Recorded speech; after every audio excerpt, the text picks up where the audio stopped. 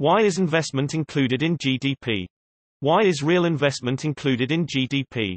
I thought GDP is only supposed to measure final goods produced. I thought capital is an intermediate good but I guess I am wrong.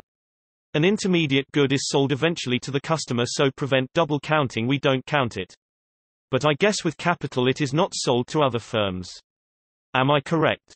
Investment is the value of machinery, plants, and buildings capital that are bought by firms for production purposes.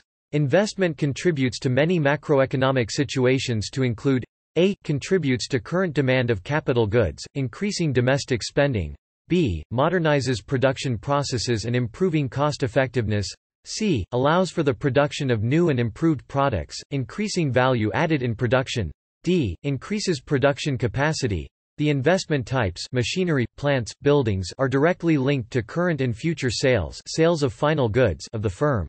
An intermediate good is defined as the goods and services including energy, raw materials, semi-finished goods, and services that are purchased from all sources that are used in the production process to produce other goods or services rather than for final consumption.